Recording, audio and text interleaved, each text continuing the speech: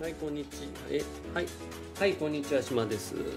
島の元ブログではなくて今日はちょっとギターの弦を変えようと思います。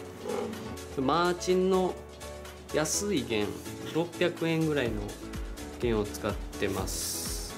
だいたい5年ぐらい使ってますね。5年ぐらい使ってるんですけども最初の劣化はすごいんですけどそれ以降はほとんど腐ることもなくめちゃくちゃ長く使ってますね。これはヘビーゲージだった気がしますね。その前にちょっと、えー、チューニングしますね。チューニング？これですね。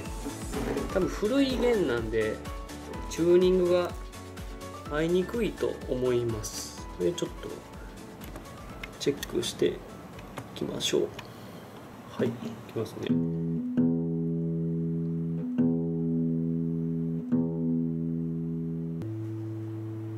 微妙に合わない。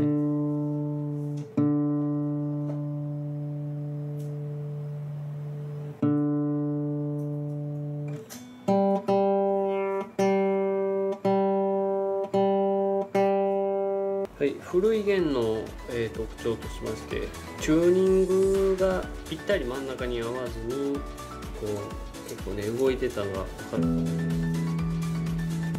すぐこう音が音がうねるというかねそんな感じで。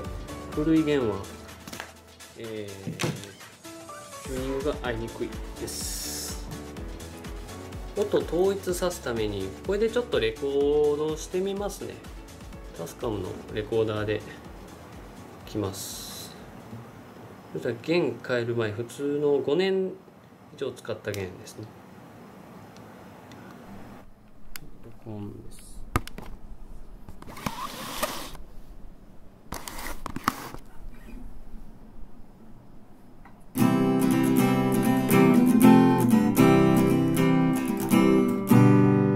ん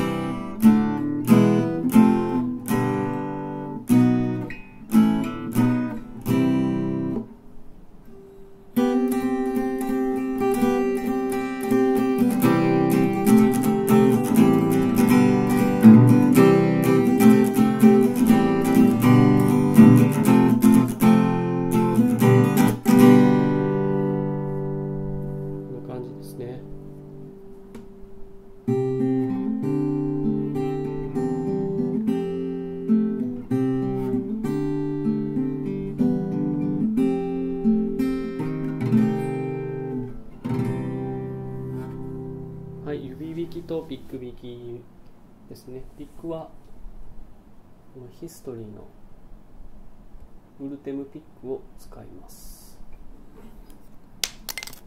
はい、こんな感じですね。交換前の弦の音声です。停止。音はまあまあいい感じですね。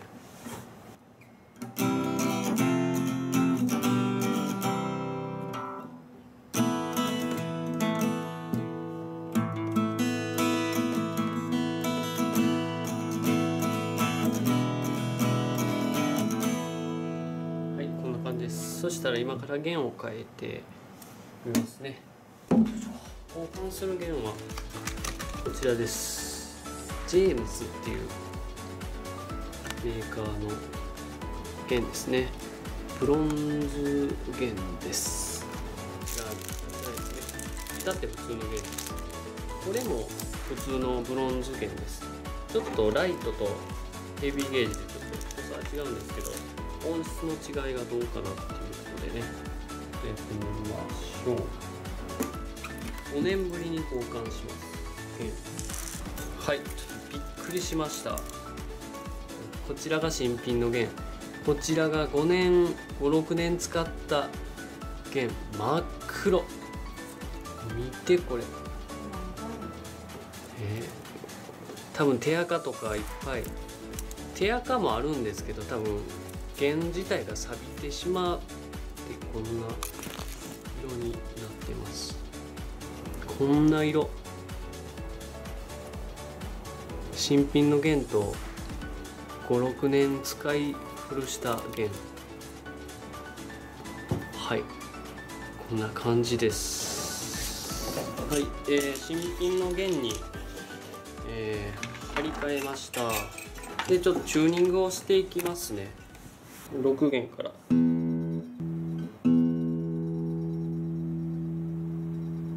ねぴったりあ安定してるでしょ？ぴったりあったとこからあんまり上下にぶれないっていうか。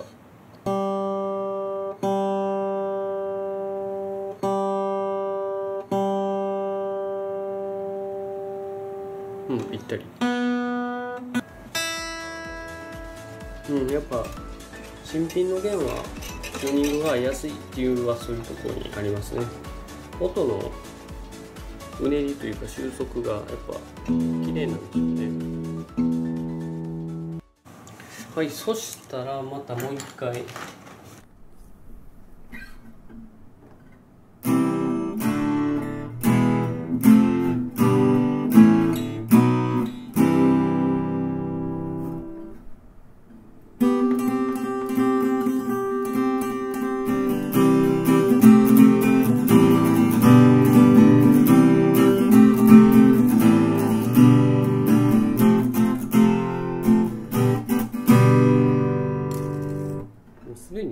違うは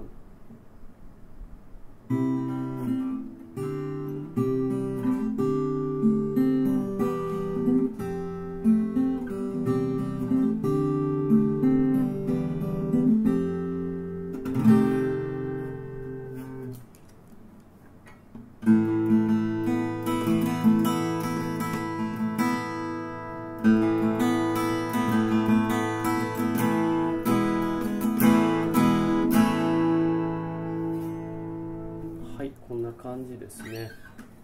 めちゃくちゃ音の音がいいです。今新品の弦。えー、弦今このマイクで撮ってます。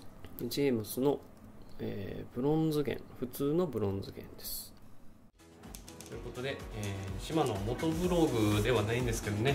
今回はギターの新品の弦と古い弦の音の違いということで簡単に撮ってみました。もうほんまに簡単なんですけどね、えー比較にならないぐらい綺麗な音が出ます。